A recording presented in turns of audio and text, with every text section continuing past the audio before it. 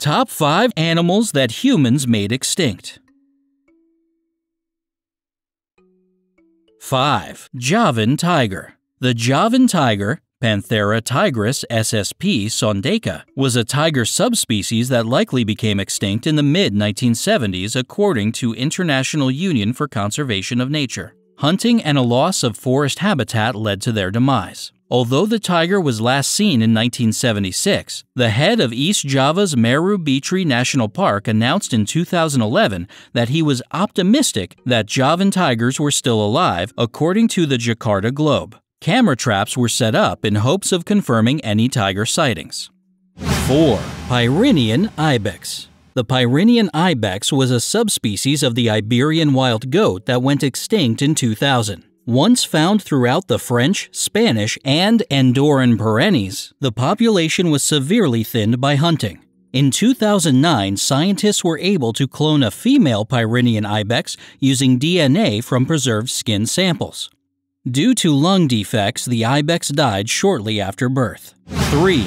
West African Black Rhinoceros the West African black rhinoceros, Diceros bicornis longipes, was a subspecies of the black rhino that was declared extinct in 2011. The subspecies last existed in Cameroon, but an extensive survey in 2006 did not find any signs of living West African black rhinos. According to the IUCN, it is highly probable that this subspecies is now extinct, thanks to increased poaching and demand for rhino horn.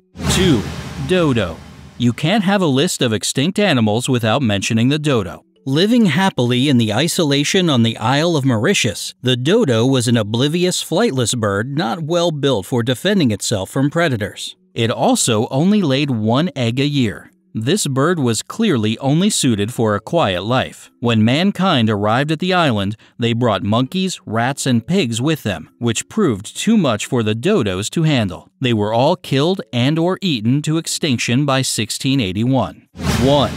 Tasmanian Tiger Despite their name and appearance, these dog-like creatures were not tigers or canids. Rather, they were marsupials. In fact, they were the largest carnivorous marsupials of modern times. Native to mainland Australia and Tasmania, they were declared extinct as recently as the 1930s. After a century of intensive hunting encouraged by bounties, farmers feared that the tigers were killing their sheep. The last known wild Tasmanian tiger was killed by a farmer named Wilf Batty, who shot the animal after it had been sighted patrolling outside of his house. Thanks for watching and hope you enjoyed. Check out one of these videos and don't forget to subscribe to support more videos.